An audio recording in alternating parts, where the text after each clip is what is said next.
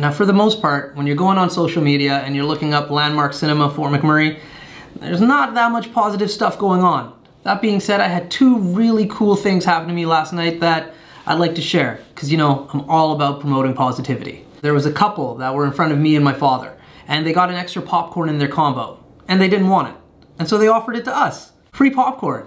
Who doesn't like that? I know I said thank you in person, but I figured let's say thank you here as well. Second thing that took place was the movie at first was a little bit glitchy. It was moving in slow motion. So a few of us went out and we spoke to this young kid.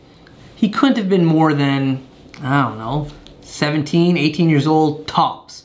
We told him what was going on and he fixed it, which was awesome in itself. But then, at the end of the movie, he was waiting for all of us outside with this, a free movie pass. Now to me, that's above and beyond. The movie was a little bit glitchy, which is not cool, but he was able to rectify the situation right away. And that in itself was amazing. The fact that I got this bad boy, well, that's awesome.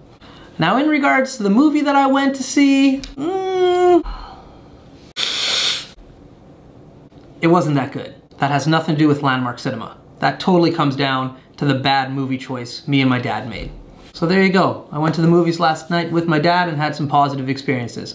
Thanks Landmark Cinema. Really appreciate it. Have a great day, guys.